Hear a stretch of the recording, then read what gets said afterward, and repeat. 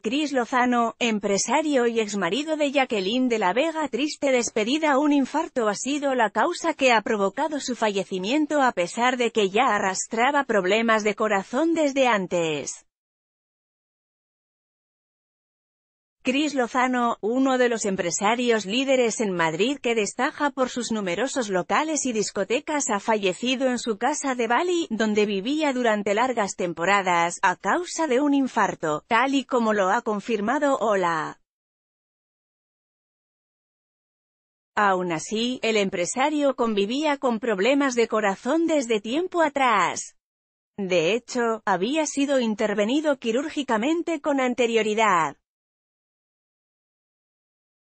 El empresario ha fallecido a causa de un infarto al corazón. Instagram Las primeras reacciones por la muerte del empresario no han tardado en aparecer. Estefanía Luic ha sido una de las primeras en publicar una fotografía en Instagram junto a Lozano. Eras una parte importante de la historia de mi vida, un hombre con un grandísimo corazón, jefe la de historia de la noche española, jefe de muchos y amigo de tantos, te echaré de menos, ha escrito a través de su red social.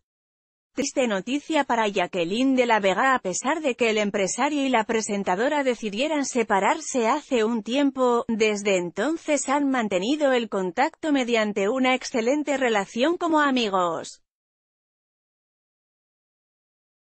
Ambos estuvieron casados durante 13 años y es por ello que la triste noticia de su fallecimiento ha afectado de lleno a De la Vega. Síguenos en redes Rostros Estefanía Luic Modelo, 42 años encuesta ¿Qué boda real te ha gustado más? La del príncipe Harry y Meghan Markle, ha sido romántica y original 37,6%. La de Eugenia de York y Jack Brooks Bank ha sido preciosa 11,3%.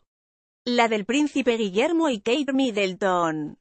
Nunca podré olvidarla 17,9%. Siempre me quedaré con la del príncipe Carlos y Lady Di 33,2% ya has votado.